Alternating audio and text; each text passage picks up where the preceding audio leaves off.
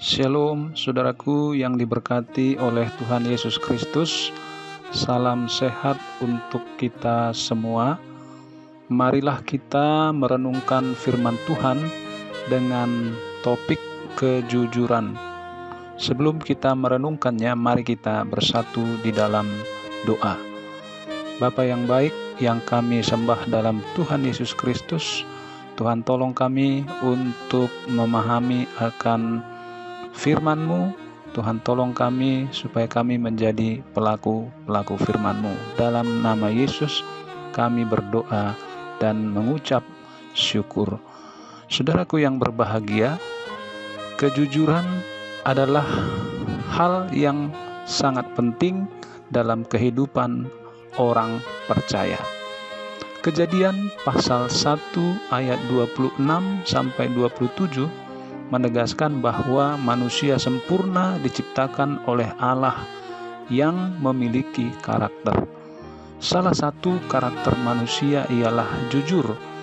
Namun, setelah manusia jatuh ke dalam dosa, maka karakter manusia itu menjadi rusak. Manusia lebih suka berbohong daripada hidup jujur. Mengapakah demikian? Karena ada stigma kalau jujur pasti tidak akan mendapatkan keuntungan. Namun sebaliknya, kalau bohong di sana akan ada keuntungan.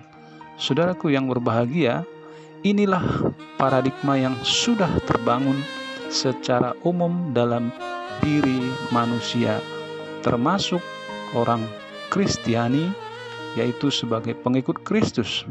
Namun, cara pandang demikian sangat bertolak belakang dengan Alkitab. Bohong itu adalah dosa karena sesungguhnya berbohong tidak ada untungnya. Iblis telah memutarbalikkan fakta karena memang dia adalah bapa pendusta dari mulanya.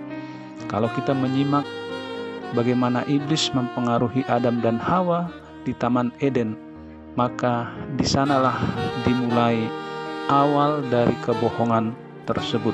Seharusnya kita memutuskan untuk berhenti berbohong serta mengambil sikap dan berkata jujur. Sebab kalau kita jujur, dijamin pasti ada untungnya. Saudaraku yang berbahagia, apa untungnya jika kita hidup jujur?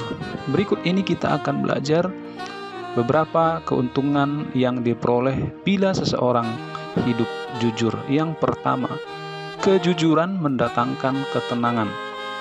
Orang jika berbicara jujur dan hidupnya tulus pasti mengalami ketenangan.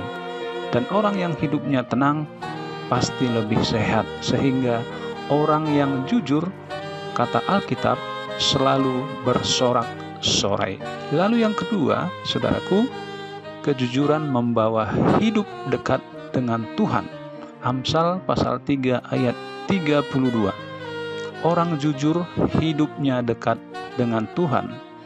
Karena di dalam Tuhan tidak ada yang dusta, tidak ada kemunafikan.